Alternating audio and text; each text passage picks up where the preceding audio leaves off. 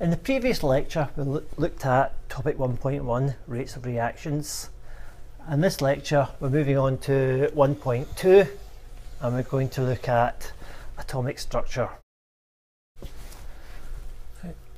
Inside the atom we have a nucleus right in the very centre of the atom and the nucleus contains two subatomic particles protons and neutrons and then orbiting round the nucleus we have our electron.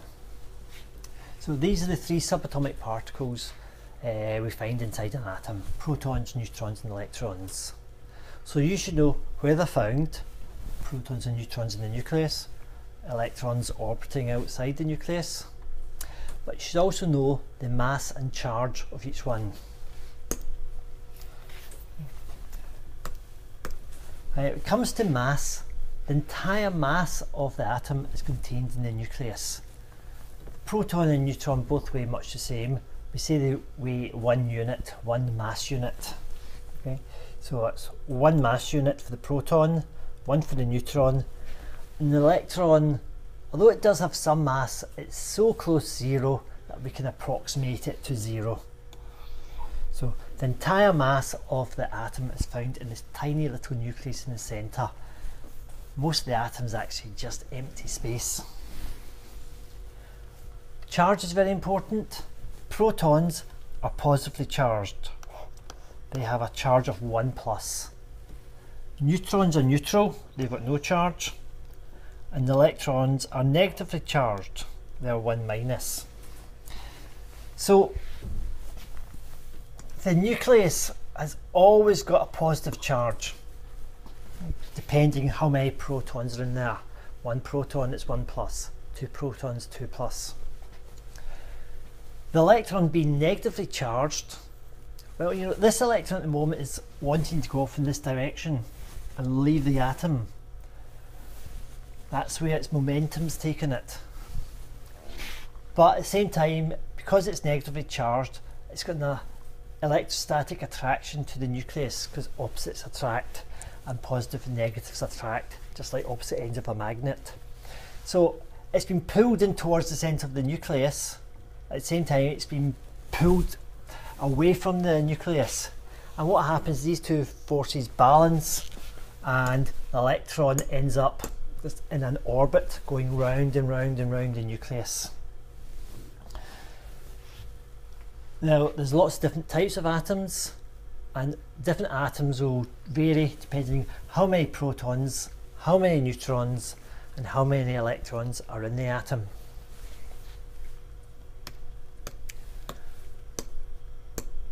And we use nuclide notation to allow you to work out how many protons, neutrons, and electrons are in an atom. So here's a sodium atom. The number in the bottom left is known as the atomic number. The number in the top left is known as the mass number. So atomic number tells you what type of atom you've got, the mass number tells you how heavy it is.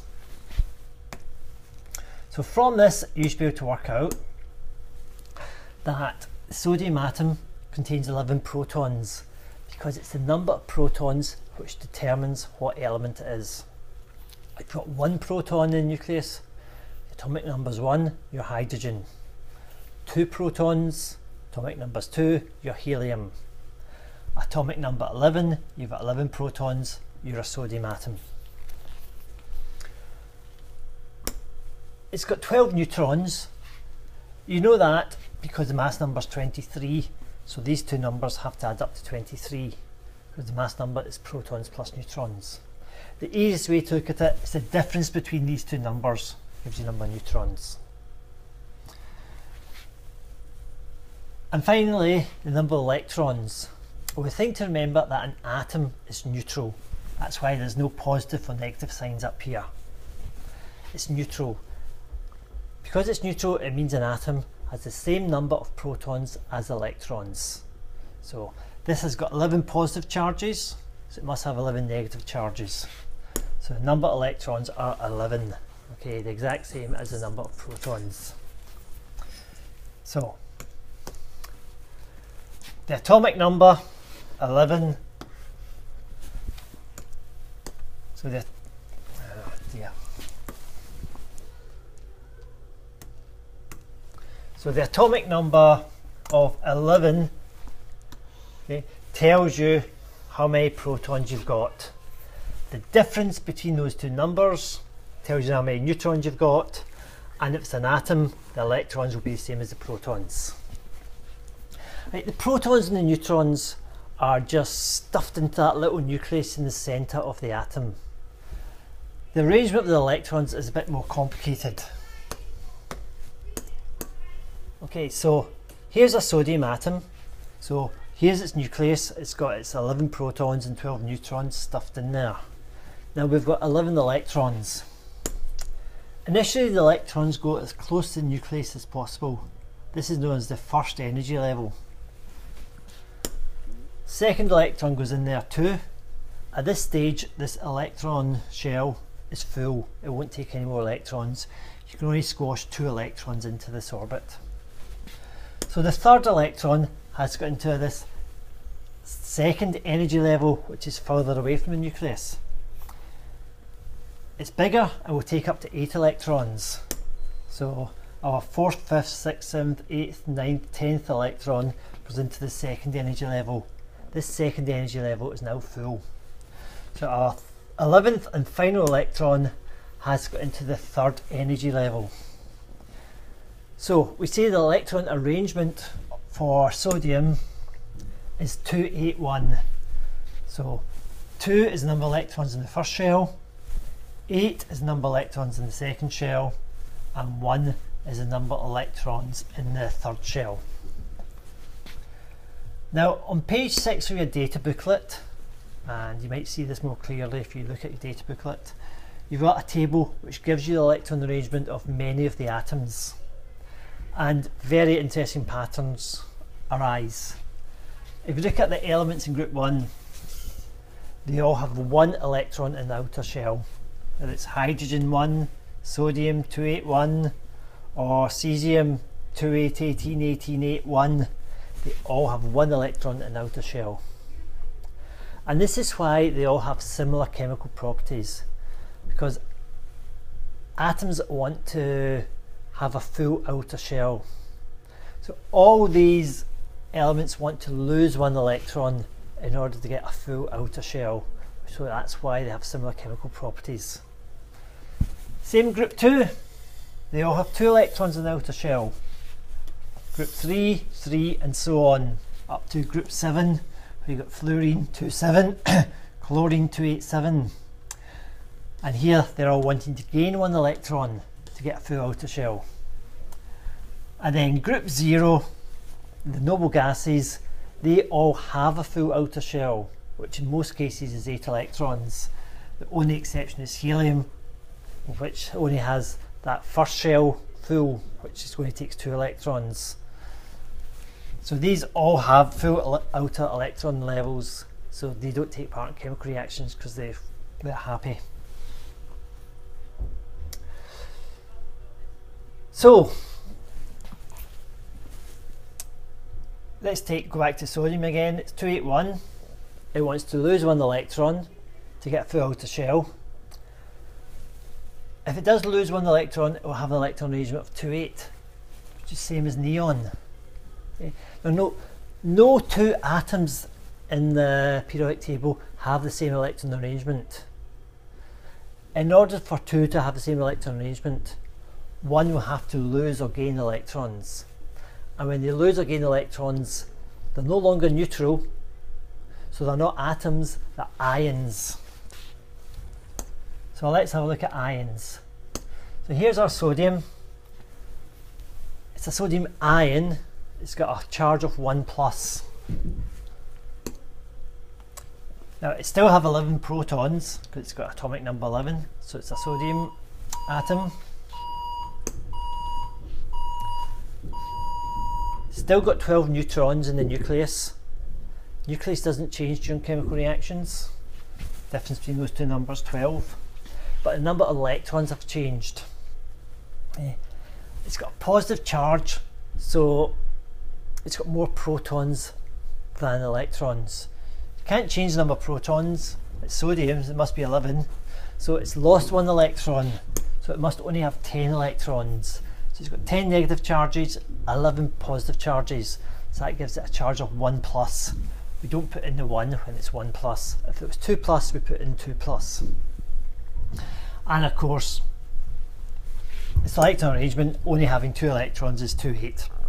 A full outer electron shell. Let's look at another ion, sulfur 2 minus ion. Well, the number of protons, 16. That's what makes it sulfur. Number of neutrons, difference between these two numbers, 17. Then the number of electrons, if it was an atom, it would have 16. But it's 2 minus, which means it's gained 2 electrons. So the number of electrons must be 18. And again, the electron arrangement of the ion will have a full outer shell. It's 288. Finally, we looked at isotopes and relative atomic mass. Now, isotopes are two slightly different atoms of the same element. So, same atomic number, different mass number. Or in other words, same number of protons, different number of neutrons. So basically the two, in this case it's two atoms of copper which weigh slightly different amounts. This one weigh, only weighs 63, this one weighs 65. Now, most elements have several isotopes. Isotopes are not strange things. You get usually two, three, four, five different isotopes of most elements in the periodic table. For copper, we've got these two main isotopes. If we look up the relative atomic mass in your data booklet, I remember if relative atomic mass you always think of as average atomic mass. It tells you the average atomic mass is 63.5. That tells us which isotope is the most abundant. If we had the exact same numbers of the ones that weigh 63 and the ones that weigh 65, then the relative of average atomic mass would lie exactly halfway in between. It'd be 64. The fact that the average is 63.5, it's close to the copper 63, so that means that's the most abundant isotope. So you get more of the copper 63 in your sample than you do 65. Okay, four things this time you should be must be able to do. Okay, so go back and watch the lecture again if you can't do any of these things. So you should be able to recall the structure of an atom, including the mass and charge of the protons, neutrons and electrons. You should be able to use nuclide notation to determine the number of protons, neutrons and electrons uh, in any atom or ion. You should be able to determine the electron arrangement of any atom or ion using the information on page 6 of your data booklet. And you should be able to recognise isotopes and determine the most abundant if given the relative stroke average atomic mass. So make sure those four things are things you must be able to do from this topic.